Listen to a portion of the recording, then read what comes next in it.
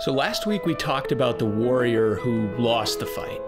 But today we'll be talking about the conqueror, the king, the, the man who forged an empire the likes of which this world had never known and perhaps never will again. A man who changed the very course of history itself, who reshaped the Western world for a millennia and made us all descendants of his legacy. Barack Obama. Just kidding.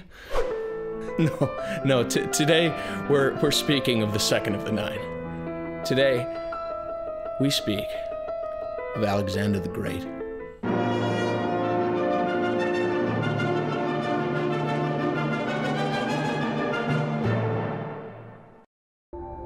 Born to King Philip II of Macedonia, played by Val Kilmer, and Queen Olympias,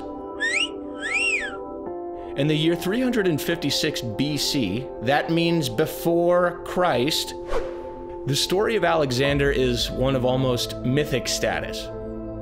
Perhaps it was you know, being raised by a father who dared to challenge the Persian Empire.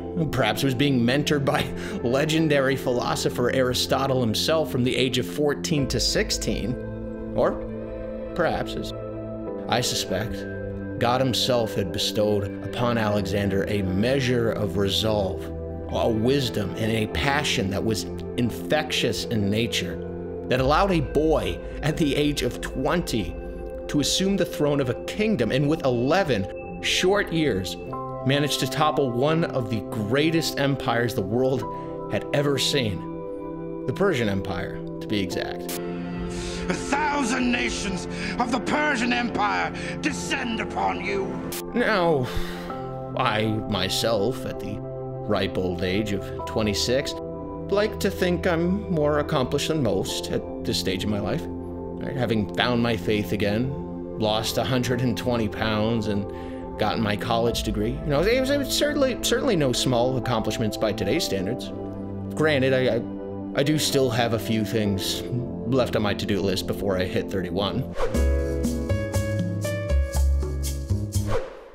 Oh, in all seriousness, uh, how many of us at times have looked to the greats, looked to the legends, the myths, the heroes of history, and not felt small in comparison? Not felt as though greatness itself was some ideal that we could never attain? And as such, perhaps even let any aspiration or hope for greatness slip away from our hearts until it had become nothing more than a faded memory of a dream once dreamt so very long ago. But Alexander's greatness, his virtue, it didn't lay in building an empire. It wasn't set atop the defeat of the Persians. No, no, his greatness laid instead in the men whom he led, the men whom he inspired.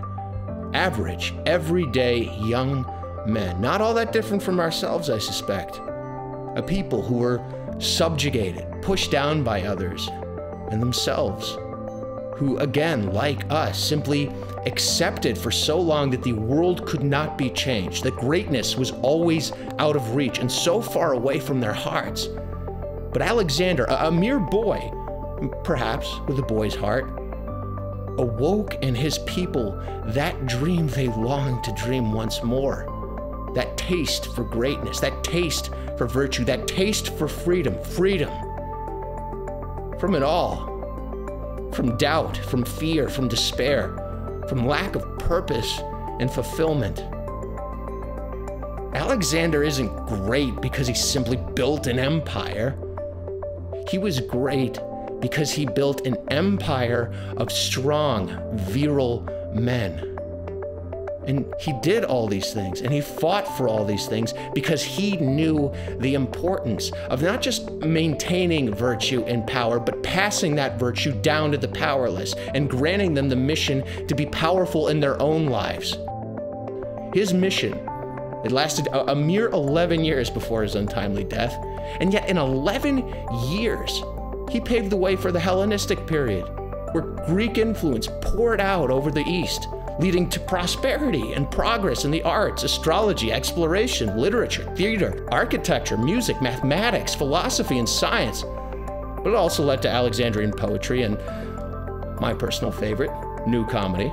Good people who have traveled from villages near and far, lend me your ears.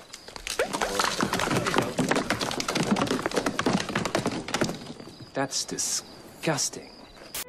As you remember Alexander's story, I want you to do so in the knowledge that the flame within your heart, calling out from deep within you, that spark that yearns for a life that is not just content, not just okay, but one that is great.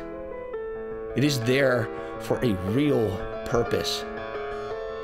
It's there to guide you home to lead you into the legacy of your ancestors, to help pick you up when you fall and, and burn bright in the darkness and the despair of this flawed and imperfect world.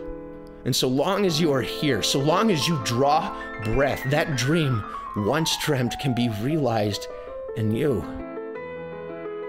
So please, don't waste it. And don't waste this small piece of wisdom. There is nothing impossible to him who will try.